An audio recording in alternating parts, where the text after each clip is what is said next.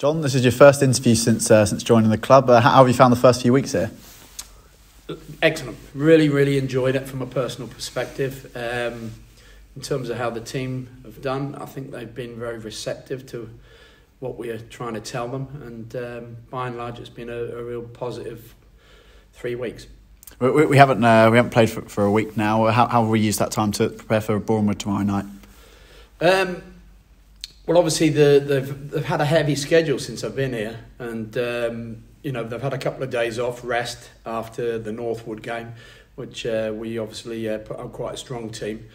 And uh, there's a few aches and pains amongst the team, but as I say, it's been a heavy load, and uh, they've had a bit of time off. So we've uh, been back on the training pitch again today, uh, ahead of the the game tomorrow against Boreham Wood. We saw that Sam King came in and put the lads through the paces with, with a series of high intense, uh, high intensity boxing drills. Can you tell us a little bit about that? Uh, not really.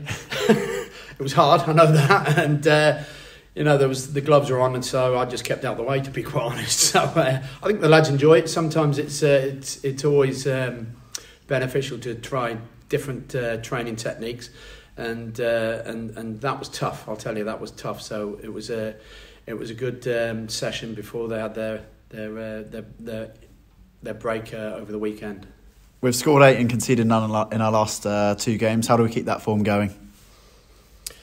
Um, being good in both boxes, in a nutshell. I think uh, what we've done, we've defended for our lives at times. We've got blocks in, headers in, tackles in, uh, interceptions. You know, and at the other end, obviously, we've been clinical. Um, so the, the, you know, it's, it, it's pleasing and um, more of the same. I'd, I'd like to think. How impressed have you been by the, the defensive work of, of uh, some of the players lately? Um, it's been great. Yeah, I think um, you know I know the club had went through a little bit of a tricky time before I came in, and and you know there was a number of reasons behind that, and obviously conceding nine goals in two home games wasn't ideal. So we needed to sort of like um, stem that that tide really. And uh, you know we did that obviously with the first game at um, Torquay, albeit we conceded two goals, but we came back, showed fantastic character.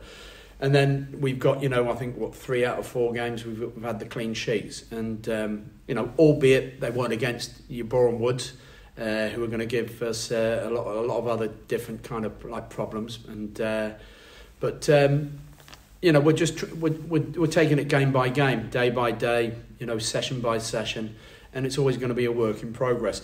And let's not forget, I think my first game um, against Torquay, so I came in on the Thursday. We had a back four, and none of that back four played in their respective positions going into Torquay. So we completely changed the back four, and I think that's uh, crucial that you've got a settled uh, back four, or certainly a, a defensive unit. Um, game by game because you, you know you, you're working with different groups each time. So that that proves to be very difficult. But uh, I've got to say, I think the lads have been absolutely terrific. The ones that have come in and some have gone out, and obviously got the the likes of um, uh, Turles that have come back uh, from injury. So it's just getting a settled group and working with that settled group.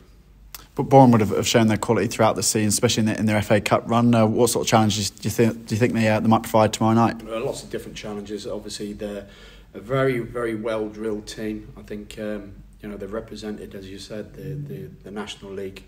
Uh, fantastically well in the FA Cup and really proud of their achievements getting into the last 16 and um, you know so Luke's done a fantastic job at, uh, in that respect but they've always been there or thereabouts the last like few seasons and they've just made little tweaks here and there. And the one thing they play with um, a real spirit, and you can see that the players are buying into what the the manager's trying to achieve there.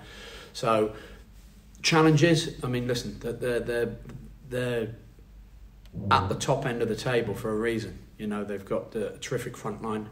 Bowden and Marsh. Uh, I believe Marsh scored uh, a hat trick down here in the in the FA Trophy game. Bowden, proven goal scorer, uh, and they have good good uh, qualities on their defence, on pardon me, set plays, attacking set plays, and um, they have a certain way of playing. And listen, you've got to deal with that. You know whether you like it or not, you've got to go and deal with it and uh, be physical and stand up to the challenge. I know you might not have worked with them uh, a, a, lot since coming in, but Ephron Mason Clark's been called up to the England C team. How, how much uh, praise does he deserve for that call up? Um, well, he deserves a lot of praise. I mean, it's a proud moment, you know, representing England at any level. So he, uh, you know, uh, all power to him. I think he's, been, I think he's been brilliant since. Um, it was a player that I'd heard about and had didn't know a lot about, um, and now working with him at close quarters, his quality is amazing. You know, he's he's a real he's a real star in the making, and he wants to learn. He wants to get on, and um, so congratulations to him. It's a it's a fine achievement. And, and just finally, it's, it's, a game under the lights here at the Hive of London in, in quite a local derby. How, how much are you looking forward to, to that side of uh, oh, I things? Love a, I love a Tuesday night game. I'm really looking forward to it. I think um, from uh, you know a, a, a coaching perspective, uh, I want to see how far we've come because we're playing against one of the top teams in the league. So it's going to be a gauge of you know how far we've come and, and you know if we're up to the challenge. Listen, we want to be in swapping places with the likes of Boreham Wood, and uh, you know so so here's a, a, a good marker if you like moving forward, and it gives us an opportunity to, to make a real statement.